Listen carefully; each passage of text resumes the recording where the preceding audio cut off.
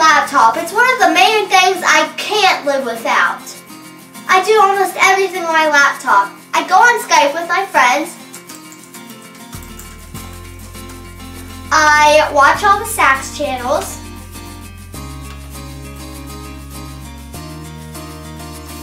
And I edit videos and I just Google things. I do everything on my laptop.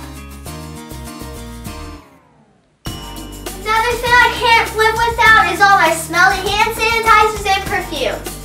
I wear these things like every single day and I just love them because they smell good and I don't know about you but I just really like to smell good because smelling good is just so awesome. I mean, I wouldn't you want to smell? It's just like smell good. Like so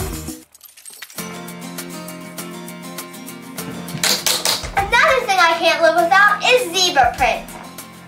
I mean, I just love zebra print because it's so zebra-y. What would the world be like without zebra print? Boring. I just have to have my zebra print. So pretty much that's all my three favorite things were. Of course I love my family. That's probably my first. But, you know. Anyways, so I'm anxious to see what your three favorite things are. So comment down below or leave a video response telling me your three favorite things. Watching and see you guys next Wednesday on 7 Supergirls.